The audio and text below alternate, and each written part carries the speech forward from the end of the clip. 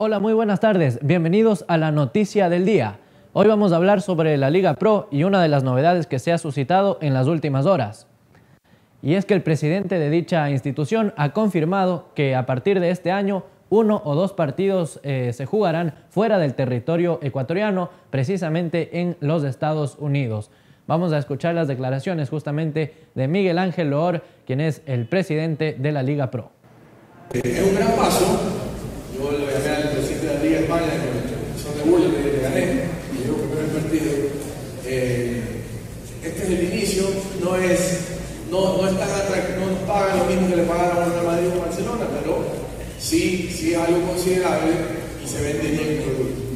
No recomiendo, porque tampoco eso fue lo que conversé con él, no es recomendable hacer más de dos partidos al año afuera, porque contextualizan la naturaleza de la competición, que es ecuatoriana si te llevas uno o dos partidos al año, un atractivo para exponer tu producto.